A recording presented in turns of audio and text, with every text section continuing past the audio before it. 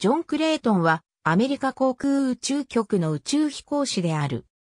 4度のスペースシャトルのミッションで宇宙を訪れた。1943年4月28日にテキサス州オレンジで生まれたが、ワシントン州シアトルを故郷と考えている。アーカンソー州リトルロック出身のテリー・スタンフォードと結婚している。1961年にシアトルのバラード高校を卒業した。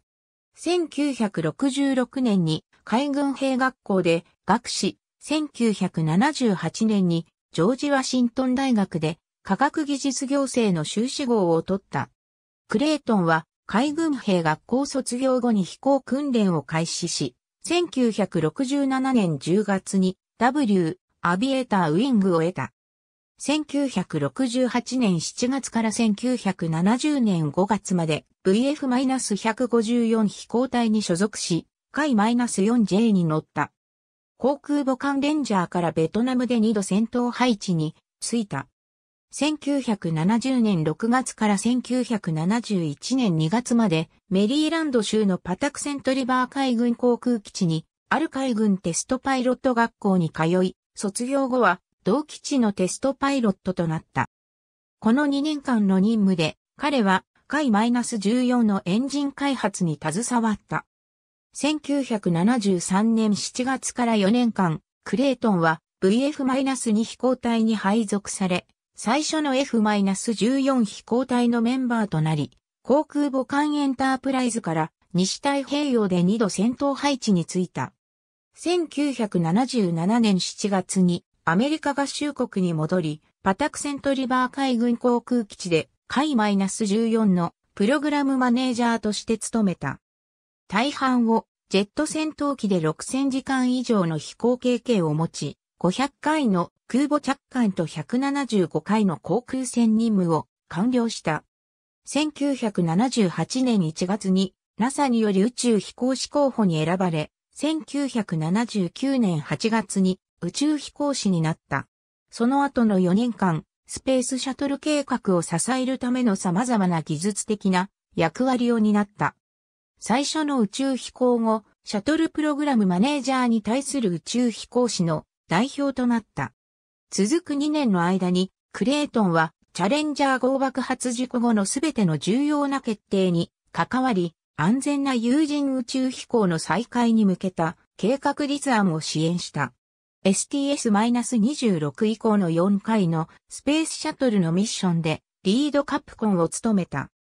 1989年3月には STS-36 の船長に指名されたが、飛行に向けたフルタイムの訓練が始まるまでミッションサポート部門の長の仕事を続けた。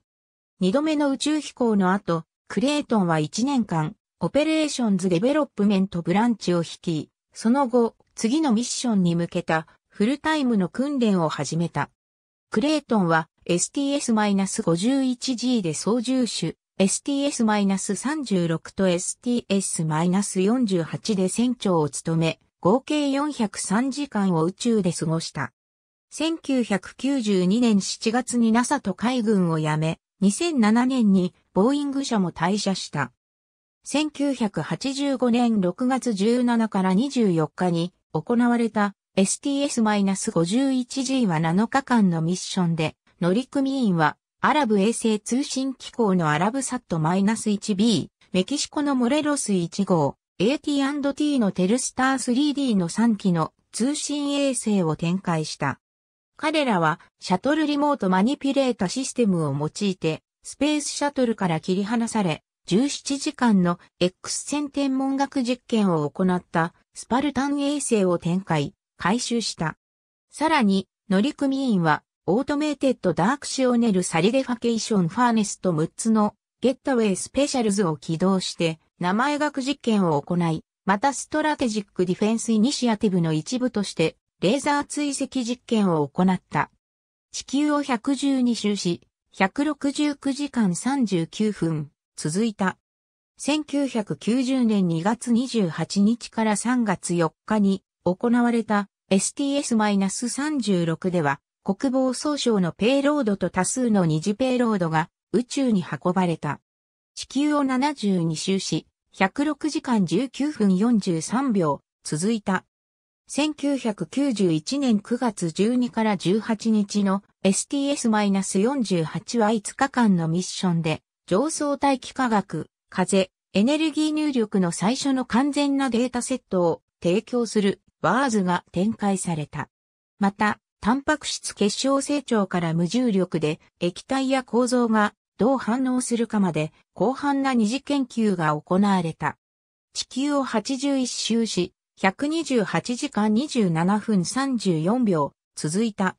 1997年にワシントン州議会上院の共和党の候補となったが落選した。彼は Defense Superior Service Medal、 Legion of Merit、殊勲飛行十字章、10個の Air Medal、W、 Armed Forces Expeditionary Medal、W、 Gallantry Cross、W、NASA Distinguished Service Medal、NASA リーダーシップメダル、3つの W、NASA スペースフライトメダル、フランスのレジオンドヌール勲章、サウジアラビアのキングファットメダル等を受賞した。ありがとうございます。